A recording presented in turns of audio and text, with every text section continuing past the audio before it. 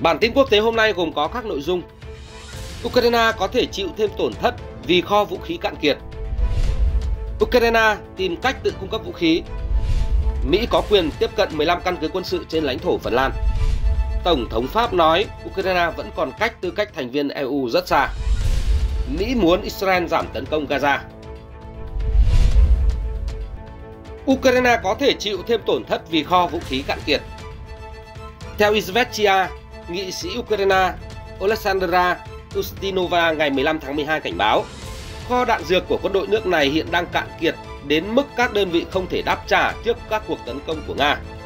Bà cho hay Ukraine chỉ còn lại một nửa số đạn dược so với năm ngoái khi nguồn cung vũ khí từ phương Tây trong hai tháng qua đã giảm xuống mức thấp nhất kể từ đầu cuộc chiến. Bà cảnh báo nếu tình hình không được khắc phục, Ukraine có thể đối mặt với những hậu quả nghiêm trọng khi mất thêm nhiều vị trí trên tiền tuyến. Bà Ustinova thừa nhận lượng đạn dược đang giảm nhanh chóng có tác động sâu sắc đến tinh thần của binh lính Ukraine. Bà cho biết một số quân nhân rất mất tinh thần và thất vọng vì thực tế là họ không có phương tiện để chiến đấu. Bà khẳng định không phóng đại điều này. Bà Ustinova cho hay nếu không có thêm sự hỗ trợ, Ukraine sẽ thua, đồng thời cho rằng kịch bản này có thể dẫn đến xung đột giữa Moscow và NATO. Ukraine tìm cách tự cung cấp vũ khí. Cũng liên quan tới vấn đề kho vũ khí cạn kiệt, ngày 15 tháng 12, Ukraine thông báo đã ký kết hàng chục thỏa thuận hợp tác sản xuất trao đổi công nghệ vũ khí với các đối tác phương Tây. Động thái trên diễn ra trong bối cảnh Kiev đang nỗ lực cắt giảm tình trạng phụ thuộc vào nguồn cung cấp quân sự từ phương Tây và thúc đẩy năng lực sản xuất trong nước.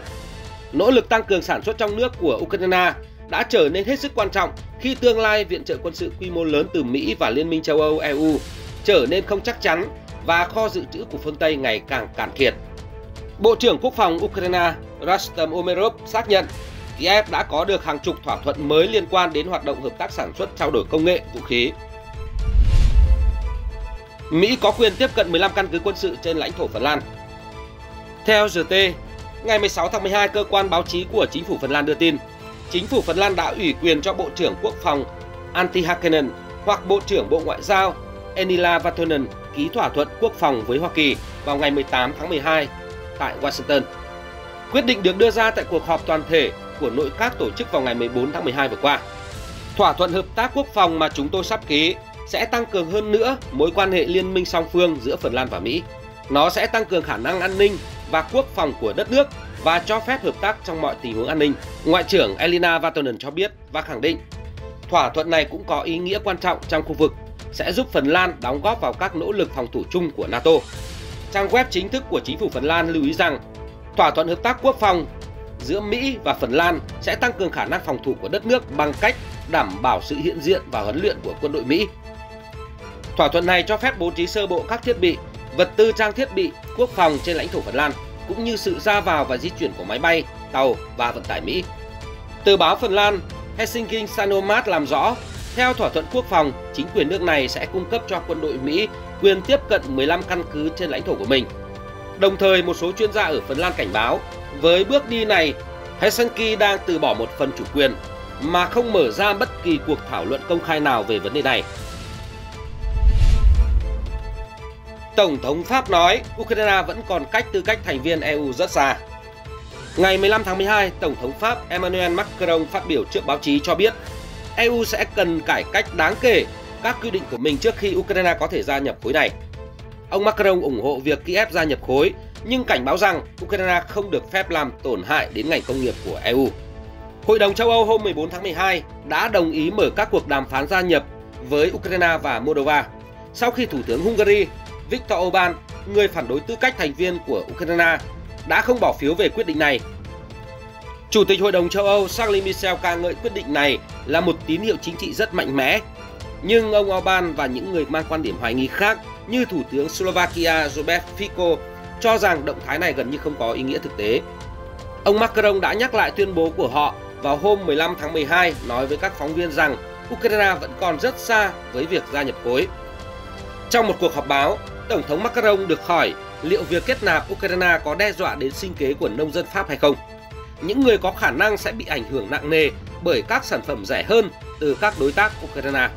Ông đáp, chúng tôi còn cách rất xa với việc thực sự mở rộng sang Ukraine và trong mọi trường hợp, việc mở rộng dù thế nào đi nữa sẽ đòi hỏi một cuộc cải cách sâu rộng các quy tắc của chúng tôi.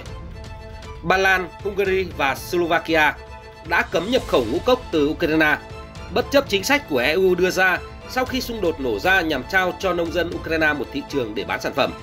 Ngoài ra, theo bài viết của tờ Financial Times, viện dẫn tài liệu của EU đăng tải hồi tháng 10, việc Ukraine gia nhập EU sẽ khiến trợ cấp nông nghiệp cho các thành viên hiện tại bị cắt giảm 20%, càng thúc đẩy lợi thế cạnh tranh của Kiev. Financial Times đưa tin vào tháng 10, trích dẫn các tài liệu của EU. Ông Macron nói thêm, tôi cam kết chủ quyền của châu Âu về mặt nông nghiệp, chúng tôi sẽ tiếp tục bảo vệ nó và duy trì năng lực sản xuất của mình. Ngoài tranh cãi sắp xảy đến về vấn đề trợ cấp, Politico đưa tin vào tháng 9 rằng các quan chức EU còn lo ngại tình trạng tham nhũng phổ biến ở Ukraine có thể làm chệch hướng nỗ lực trở thành thành viên của Kiev. Kể từ đó, ông Orbán và ông Fico đã công khai tuyên bố nạn tham nhũng tràn lan ở Ukraine, khiến nước này không đủ điều kiện trở thành thành viên, cũng như việc nước này tham gia vào một cuộc xung đột đang diễn ra.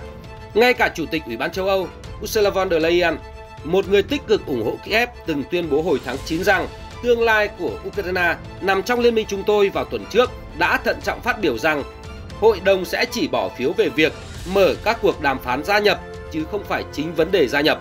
Bà nói thêm, vấn đề gia nhập dù sao cũng sẽ phải mất thời gian. Mỹ muốn Israel giảm tấn công Gaza. Cố vấn an ninh quốc gia Mỹ Jake Sullivan hôm 15 tháng 12 đến bờ Tây sau khi đến Tel Aviv nhằm thể hiện sự ủng hộ đối với cuộc chiến chống Hamas trong khi muốn Israel giảm thương vong dân thường. Đài CNN dẫn lời một quan chức Mỹ cho hay, ông Sullivan dự kiến gặp lãnh đạo Palestine Mahmoud Abbas tại Ramallah nhằm thảo luận những nỗ lực thúc đẩy ổn định ở bờ Tây trong bối cảnh Mỹ ủng hộ giải pháp hai nhà nước cho xung đột Palestine và Israel.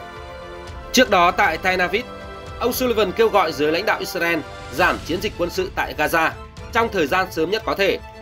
Theo The New York Times, ông Sullivan không nêu thời gian cụ thể, nhưng các quan chức Mỹ tiết lộ rằng Tổng thống Joe Biden muốn Israel chuyển sang chiến thuật tấn công chính xác hơn trong khoảng 3 tuần. Cụ thể, Mỹ muốn rằng trong giai đoạn tiếp theo của cuộc chiến, Israel tập trung điều các nhóm nhỏ binh sĩ tinh nhuệ xâm nhập vào khu vực đông dân ở Gaza để định vị và triệt hạ các thủ lĩnh Hamas, giải cứu con tin và phá đường hầm của Hamas trước khi rút lui.